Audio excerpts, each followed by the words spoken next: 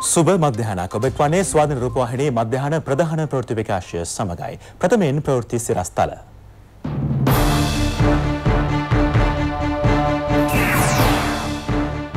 රාජිතගේ ඇප අහෝසි අධිකරණයෙන් තීන්දුවක්.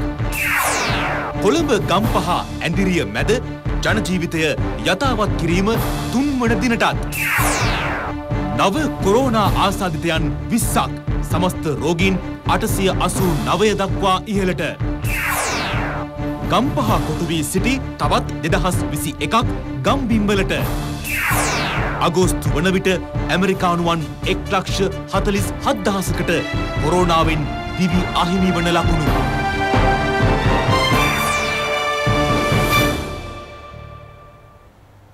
දේශීය ප්‍රවෘත්ති.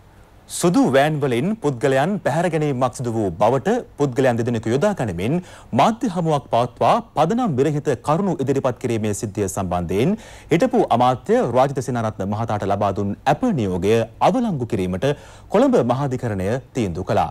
කොළඹ ප්‍රධාන මහේස්ත්‍රාත් අධිකරණය ඇප ලබා දෙමින් පසුගිය දෙසැම්බර් 30 වනදා ලබා දුන් නියෝගය දෝෂ සහිත බවටයි කොළඹ මහාධිකරණය අද සඳහන් කළේ. පසුගිය ජනාධිපතිවරණය ආසන්නයේ තිබියදී ව්‍යාජ ලෙස පෙනී සිටි පුද්ගලයන් දෙදෙනෙකු මාධ්‍ය හමුවකට ඉදිරිපත් කරමින් ජනාධිපති ගෝඨාභය රාජපක්ෂ මැතිතුමා ආරක්ෂක ලේකම්වරයාව සිටියේදී පුද්ගලයන් පැහැරගත් බවට එම මාධ්‍ය හමුවේදී ප්‍රකාශ කෙරුණා. අදාළ අසත්‍ය ප්‍රකාශ හේතුවෙන් මාධ්‍ය හමුව සංවිධානය කළ හිටපු අමාත්‍ය රාජිත සේනාරත්න මහතා අත්අඩංගුවට ගැනීමට වරෙන්තු නිකුත් කෙරුණා. එසේ තිබියදී රාජිත සේනාරත්න මහතා නාරායන්පිට ප්‍රදේශයේ පෞද්ගලික රෝහලක දැඩි සත්කාර ඒකකයට ඇතුළු වුණේ අසනීප තත්ත්වයක් බව ප්‍රකාශ කරමින් එහිදී ඔහු අත්අඩංගුවට ගත් අපරාධ පරීක්ෂණ දෙපාර්තමේන්තුව ඉදිරි පරීක්ෂණ ක්‍රියාත්මක කළා. එම රෝහල වෙත පැමිණි කොළඹ අතිරේක මහේස්ත්‍රාත් ශලිනි පෙරේරා විසින් පරීක්ෂා කිරීමෙන් අනතුරුව රාජිත සේනාරත්න මහතා රක්ෂිත බන්ධනාගාරගත කරන ලෙසට නියෝග කෙරුණා. මෙම රෝහලට ගිය බන්ධනාගාර වෛද්‍යවරිය රාජිත සේනාරත්න මහතා පරීක්ෂා කර නිර්දේශ කළේ බන්ධනාගාර රෝහලට හෝ කොළඹ ජාතික රෝහලට ඔහු මාරු කළ හැකි බවයි. කෙසේ වුවද ඒ මහතා ඒ වන විට ආතතිය සහ අදිරුදුර පීඩනයෙන් පෙළෙන බැවින් ඔහුගේ සෞඛ්‍ය තත්ත්වය යහපත් නොවන නිසා රෝහල මාරු කළ නොහැකි බවයි ඔහුගේ වෛද්‍යවරුන් ප්‍රකාශ කළේ. ඒ අනුව පසුගිය දෙසැම්බර් 30 වනදා වන විටත් අධිකරණයේ වෙත රාජිත සේනාරත්න මහතා ඉදිරිපත් කිරීමට අපරාධ පරීක්ෂණ දෙපාර්තමේන්තුවට අවස්ථාව හිමි වුණේ නැහැ. අදාළ චෝදනා සම්බන්ධයෙන් වන නඩුව කැඳ වූ අවස්ථාවේ රුපියල් ලක්ෂ 5 බැගින් වූ ශරීර ඇප දෙකක් මත රාජිත සේනාරත්න මහතාට ඇප ලබා දීමට කොළඹ මහේස්ත්‍රාත් අධිකරණය එදින තීරණය කළා. ඇප ලබා දීමට නීතිපතිවරයා සිය විරෝධය පළ කළා. කෙසේ වුවද රාජිත සේනාරත්න මහතා ඇප මත මුදා හැරීමට කොළඹ ප්‍රධාන මහේස්ත්‍රාත් අධිකරණය පසුගිය දෙසැම්බර් 30 වනදා තීරණය කළා. මෙම නියෝගය සම්බන්ධයෙන් කොළඹ මහාධිකරණයට පෙත්සමක් ඉදිරිපත් කරනු අතර එහි තීන්දුව අද ලබා දෙමින් ඇප නියෝග අවලංගු කිරීමට නියෝග කෙරුණා. කොළඹ මහාධිකරණ විනිසුරු මංජුල තිලකරත්න මහතායි අද දිනේ මෙම නියෝගය නිකුත් කළේ. ඒ අනුව මෙම නඩුව සම්බන්ධයෙන් සුදුසු ඉදිරි පියවර ගැනීම මහේස්ත්‍රාත් අධිකරණය සිදු කළ යුතු බවටද මහාධිකරණය තීන්දුව කළා. ඊයේ දිනේදී හමු වූ කොරෝනා රෝගීන් 20 දෙනා සමගින් මෙරට කොරෝනා රෝගීන්ගේ සංඛ්‍යාව 889ක් දක්වා ඉහළ ගියා. ඒ හමු වූ රෝගීන්ගෙන් 18 දෙනෙකුම නාවික හමුදා රණවිරුවන් බවයි සෞඛ්‍ය අංශ සඳහන් කරන්නේ.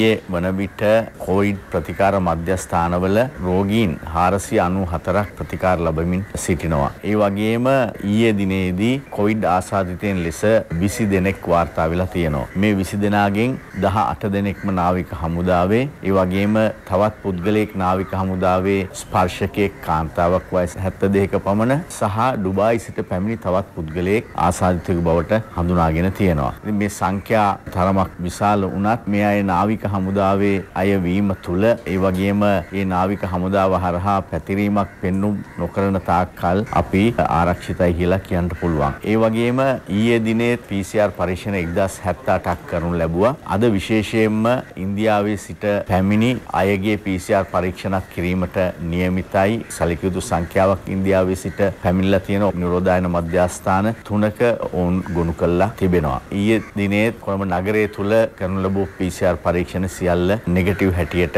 වාර්තා වෙලා තියෙනවා. මෙරට කොරුණා රෝගීන් අතුරින් පන්සිය දා හතර දෙනෙකු තවදුරටත් රෝහල්වල ප්‍රතිකාර ලබනවා. තුන්සිය හැට හය දෙනෙකු පූර්ණ සුවය ලබා රෝහල්වලින් පිටව ගියා.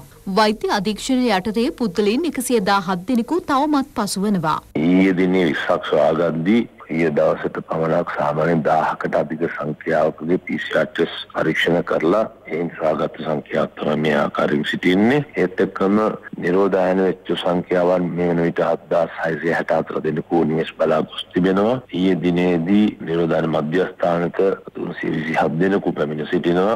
අද දිනේට 425 දෙනෙකු නිදහස් වෙලා නිවෙස් බලා යැවීමට නියමිතයි. 3879 දෙනෙකු තව දුරටත් නිරෝධායන මධ්‍යස්ථාන 40ක් යටතේ නිරෝධායන වෙමින් පවතිනවා.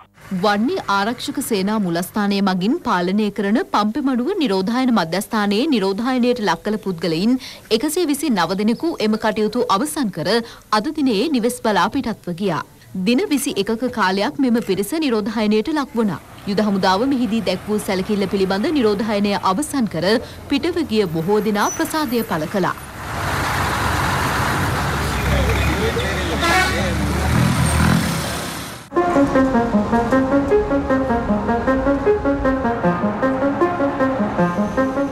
අගෝස්තු මාසය වන විට ඇමරිකානුවන් එක්ලක්ෂ හතලිස් හදහසක් පමණ COVID-19 වෛරසය හේතුවෙන් මිය යනු ඇති බව ඇමරිකාවේ වසංගත රෝග විද්‍යාංශයේ වෛද්‍ය ඇන්තනි ෆෝර්සී සඳහන් කරනවා. තවමත් ඇමරිකාව කොරෝනා වෛරස් තත්ත්වය පාලනය කර නොමැති බවත් වසා දමා ඇති නගරවල සීමා ලිහිල් කිරීමෙන් දැනට වාර්තාවන මරණවලට වඩා වැඩි සංඛ්‍යාවක් සිදුවිය හැකි බවත් වෛද්‍ය ඇන්තනි ෆෝසිය අනතුරු අඟවමින් පෙන්වා දී තිබෙනවා. ගත වූ පැය 24 තුළ ඇමරිකාවෙන් නව ආසාදිතයින් 22802ක් වාර්තා වී තිබෙන අතර මරණ 1630ක් වාර්තා වුණා. කොවිඩ් වසංගත තත්ත්වයක් සමග හඳුන්වා දුන් නිවසේ සිට වැඩකිරීමේ ක්‍රමවේදය සිය සමාගමේ සේවකයන් සඳහා අකණ්ඩව ක්‍රියාත්මක කිරීමට ට්විටර් සමාජ ජාලය තීරණය කර තිබෙනවා. වෛරසයේ ව්‍යාප්තියත් සමග රැකියා ස්ථාන වෙත වාර්තා කිරීමට නොහැකිවීම හේතුවෙන් ලෝපුරා රාජ්‍ය සහ පෞද්ගලික ආයතන මෙම නිවසේ සිට වැඩකිරීමේ ක්‍රමවේදය හඳුන්වා දී තිබෙනවා. ඒ අනුව ට්වීට සමාගමේ සේවකයින් පන්දහසක් පමණ පසුගිය මාර්තු මාසයේ සිට නිවසේ සිට රාජකාරී සිදු කළා. එම ක්‍රමවේදය සාර්ථක වීම හේතුවෙන් නිවසේ සිට අකණ්ඩව සිදු කිරීමට අවස්ථාව ලබා දී ඇති බවයි ට්වීට සමාගම වැඩිදුරටත් සඳහන් කරන්නේ. COVID-19 හෙවත් නව කොරෝනා වෛරසය මේ වන විට ලොව පුරා 43 ලක්ෂ 42 847 දෙනෙකුට ආසාදනය වී තිබෙනවා. සුවය ලබා ඇති රෝගීන් සංඛ්‍යාව 16 ලක්ෂ 2712ක්. වෛරසය ආසාදනය හේතුවෙන් මරණ දෙලක්ෂ අනු දෙදහස් අටසය අනු නවයක් වාර්තා වනවා. රටවල් හා ස්වයංපාලන ප්‍රදේශ දෙසිය දොළහක වෛරසය ව්‍යාප්ත වී ඇති බවයි ලෝක සෞඛ්‍ය සංවිධානය පවසන්නේ. මේ අතර ලොව වැඩිම ආසාදිතයින් වාර්තාවීම අතින් රුසියාව දෙවන ස්ථානයට පත්ව තිබෙනවා. ඒ අනුව ගත වූ පැය 24 තුළ නවාසාදිතයින් 10899 දෙනෙකු රුසියාවෙන් වාර්තා වී තිබෙනවා. රුසියාවෙන් වාර්තා වූ පළමු රෝගයාගෙන් පසුව ගෙවෙන දසවන දිනේදී මෙලෙස ආසාදිතයින් වැඩි වශයෙන් වාර්තා වෙමින් පවතින බවයි එරට මාධ්‍ය වාර්තා කරන්නේ. ගත වූ පැය 24 තුළ මරණ 107ක් රුසියාවෙන් වාර්තා වී තිබෙනවා. COVID-19 වෛරසය ආරම්භ වූ චීනයෙන් ගෙවී ගිය පැය 24ක කාලය තුළ නව ආසාදිතයින් 6 දෙනෙකු වාර්තා වී තිබෙනවා. නව ආසාදිතයින් සියලු දෙනාම චීනයේ ජිලින් පළාතෙන් වන අතර නැවත එම පළාතේ සීමා දැඩි කිරීමට පළාත් බලධාරීන් පියවර ගත්තා. උතුරු කොරියා දේශ සීමාව ආසන්නයේ මෙම ජිලින් පළාත පිහිටා ඇත්තේ. එම පළාතේ දුම්රිය ගමනාගමනයේද නවතා දමා ඇති අතර සියලුම එක් රැස්වීම් සහ උත්සව නැවතත් තහනම් කිරීමට පළාත් බලධාරීන් පියවර ගත්තා. මේ අතර ඉන්දීය අග්‍රාමාත්‍ය නරේන්ද්‍ර මෝදී ඩොලර් බිලියන 260කට අධික ආර්ථික පැකේජයක් හඳුන්වා දී තිබෙනවා. ඉන්දියා අග්‍රාමාත්‍යවරයා ජාති අමතමින් ඊයේ මෙම නව සැලසුම් ඉදිරිපත් කළා. එමගින් එරට කඩාවැටී ඇති ආර්ථිකයට සහයක් වනු ඇති බවයි අග්‍රාමාත්‍යවරයා සඳහන් කරන්නේ. එරට කම්කරුවන්ට සහ කුඩා පරිමාණ ව්‍යාපාරවලට මෙම ආර්ථික පැකේජයෙන් සහන සැලසෙනවා. බසා දැමුණු රට විවෘත කිරීම සම්බන්ධයෙන් ඉදිරියේදී දැනුම් දෙන බවයි නරේන්ද්‍ර මෝදී අග්‍රාමාත්‍යවරයා වැඩිදුරටත් සඳහන් කර ඇත්තේ.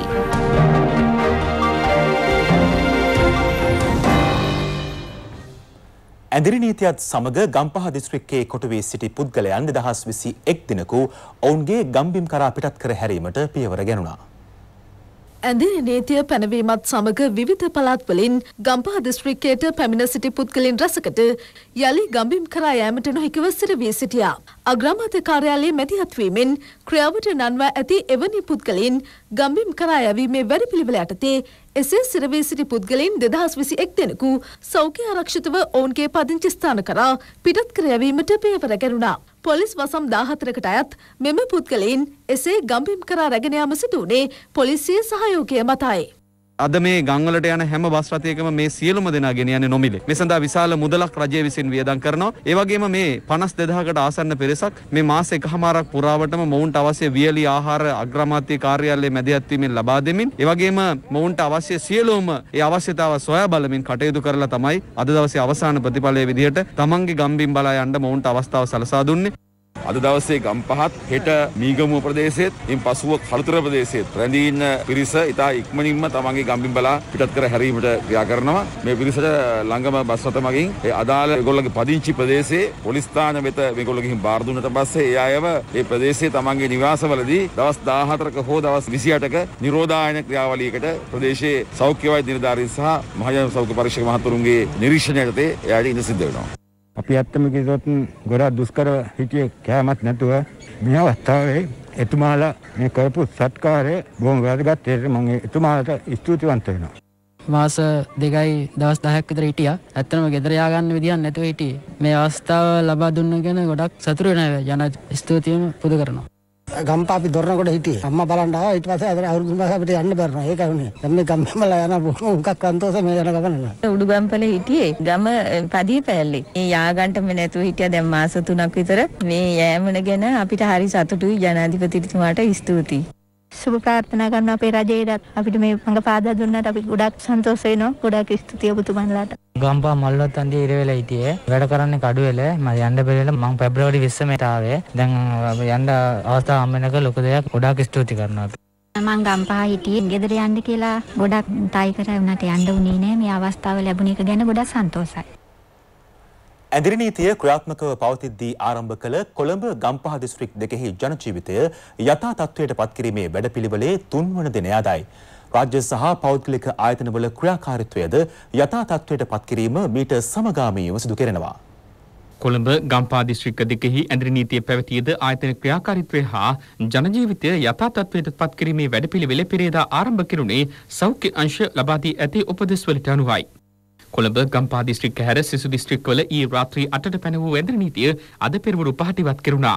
එම දිස්ත්‍රික්කවලට නැවත දැනුම් දෙන තෙක් දිනපතා රාත්‍රී 8 සිට අලුයම පහ දක්වා ඇඳරි නීතිය ක්‍රියාත්මක කිරීමටයි පියවර ගෙන ඇත්තේ. ඇඳරි නීතිය අඛණ්ඩව ක්‍රියාත්මක කොළඹ සහ ගම්පා දිස්ත්‍රික්ක දෙකෙහි ඇඳරි නීතිය පවතිද්දීම සාමාන්‍ය ජන ජීවිතය හා ආයතනික ක්‍රියාකාරීත්වය යථා තත්ත්වයට පත් කිරීමේ අරමුණින් රාජ්‍ය හා පෞද්ගලික ආයතන විවෘත කිරීමටයි පියවර ගෙනුනේ.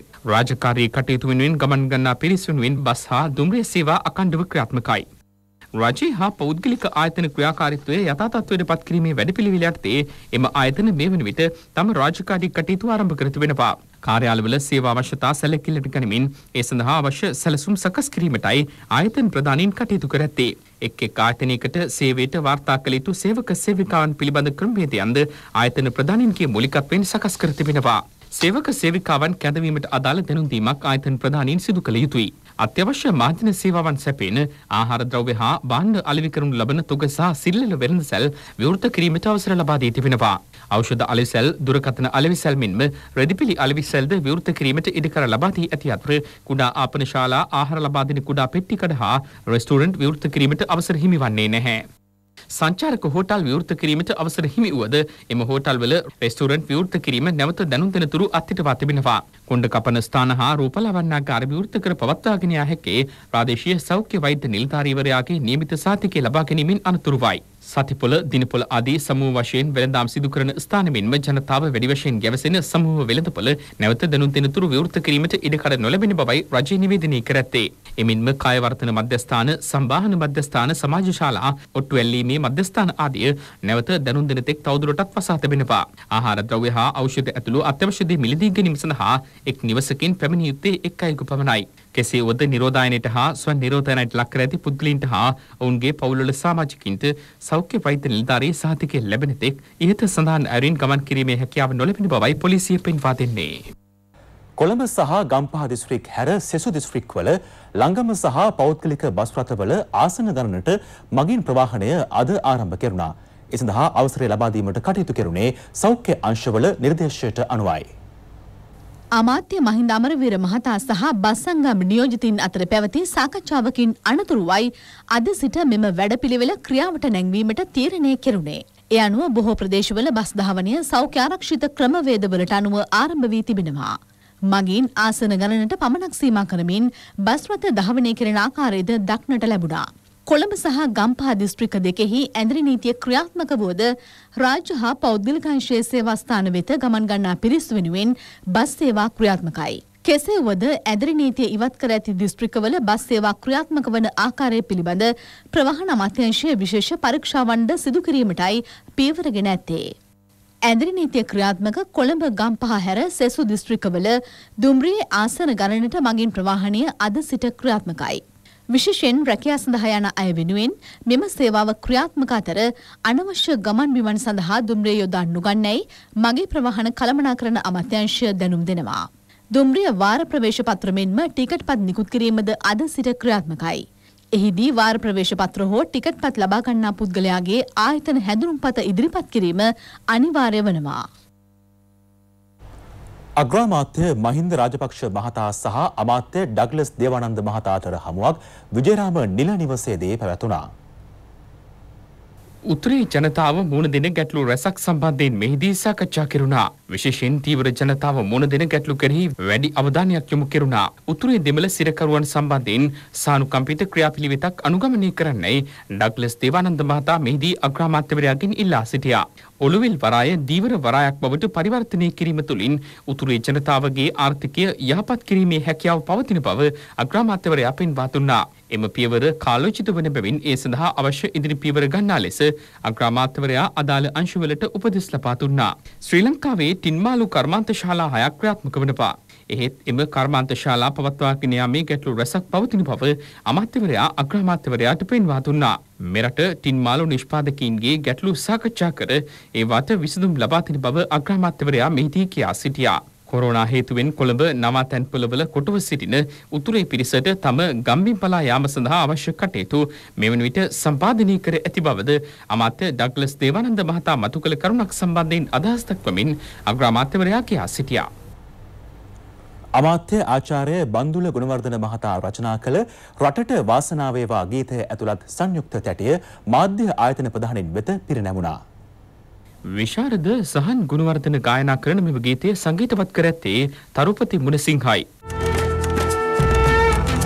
ඇසත් මෙන් රට රකින දිවාර මග සරණ වීර රණවිරු සෙබල රටට වාසනාවේවා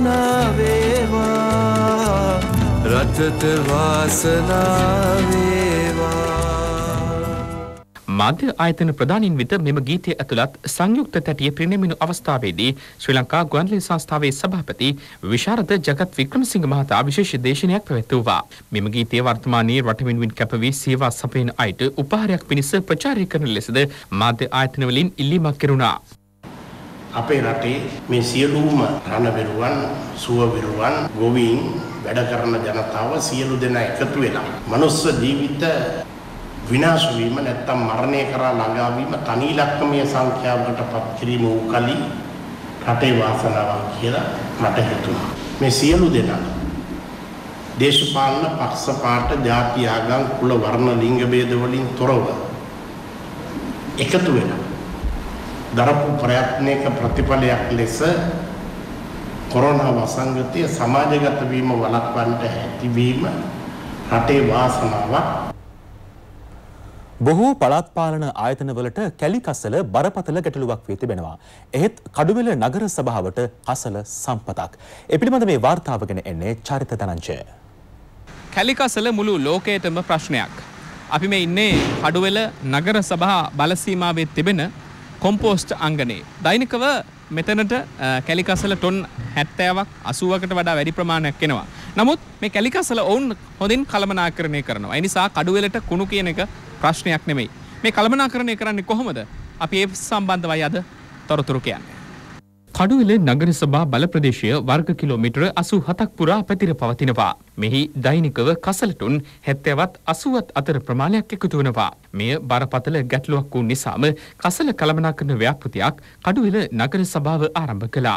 එහිදී දිරණ නොදිරණ ලෙස කසල මූලික වශයෙන් වර්ග කිරීමක් සිදු කරනවා. ඒ අනුව කසල යොදා ගනිමින් කාබනික පෝර හා ජීව වායුද නිෂ්පාදනය සිදු කෙරෙනවා. මේ තුලින් නගර සභාවට විශාල ආදායමකුත් හිමි වෙනවා.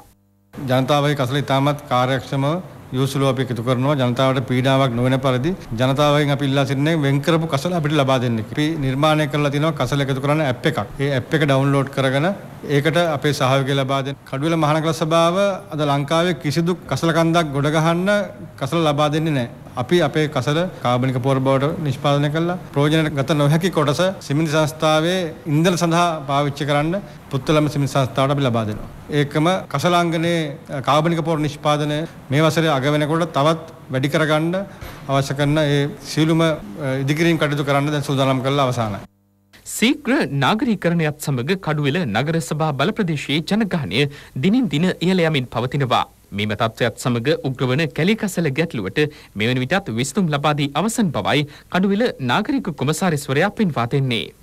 අපිට ගෘහස්ත ඒකක ලක්ෂයකට වැඩි ප්‍රමාණයක් මේ බල ප්‍රදේශයේ තියෙනවා නගරාධිපතිතුමත් මහා සභාවත් තීරණයක් ගත්ත කසල බඳුන් සහන මිලකට හැම නිවැසියෙක් වෙතම ලබා දෙන්න. ඉතින් ඒ තුලින් අපි බලාපොරොත්තු වෙන අපිට දිනකට ලැබෙන කසල ප්‍රමාණයට අඩු කරගන්න හැකියාවක් තියෙනවා. ශීඝ්‍රයෙන් නාගරීකරණය වෙන ප්‍රදේශයක් හැටියට ඉතින් මේවා එක අතකට විශාල තර්ජනයක් විශාල අභියෝගයක්. ඉතින් මේක රාජකාරී කාලය තුලින් විතරක් කරගන්න පුළුවන් කටයුත්තක් නෙවෙයි. සේවකයන්ගේ විශාල කැපවීමක් මේ සඳහා තියෙන්න ඕන. තමන්ම දිහත් වෙලා කරන සේවක පිරිසක් ඉන්නවා. ඒක අපිට විශාල ශක්තියක් වෙලා තිනවා මේ කසල කළමනාකරණයේදී. මෙතන තියෙන්නේ ඔබ මම අපි හැමෝම පාවිච්චි කරන පොලිතින්. එනිසා අපිට වගකීමක් තිබෙනවා මේ පොලිතින් භාවිතය අවම කරන්නට. එවගේම මේ කඩුවෙල නගර සභාව දරන උත්සාහයට අපිට පුළුවන් අපේ දායකත්වය දෙන්නට. එවිට පුළුවන් වේවි මේ කඩුවෙල විතරක් නෙමේ මුළු රටම සුන්දර හරි ලස්සන පරිසරයක් නිර්මාණය කරන්නට. චමිල් ආනන්ද කෙනෙත් උමයංග සමගින් මම චරිත ධනංජය බමුණු හේන්ද්‍ර කඩුවෙල කසල අංගනයේ සිට. මධ්‍යම පළාත් සභාවේ අමාත්‍යංශ දෙකකට නව ලේකම්වරුන් පත් කර තිබෙනවා. මධ්‍යම පළාත් සභාවේ ප්‍රධාන අධ්‍යාපන අමාත්‍යංශයේ ලේකම්වරයා ලෙස පත් කර ඇත්තේ නන්දන ගලබඩ මහතායි. ප්‍රවාහන හා මහමාර්ග අමාත්‍යංශය සඳහා නව ලේකම්වරයා ලෙස උපාලි රණවක මහතා පත් කර තිබෙනවා. මෙම දෙදෙනා ශ්‍රී ලංකා පරිපාලන සේවයේ විශේෂ ශ්‍රේණියේ නිලධාරීන් වනවා. නන්තන ගලබඩ මහතා කර්මාන්ත හා තරුණ කටයුතු අමාත්‍යංශයේ ලේකම්වරයා ලෙසත් උපාලි රණවක මහතා ආණ්ඩුකාර ලේකම්වරයා ලෙසත් කටයුතු කර තිබෙනවා. ස්වාධීන රූපවාහිනී මධ්‍යහන ප්‍රධාන ප්‍රවෘත්ති විකාශය අදට අවසන්. සුබ දවසක් ඔබට.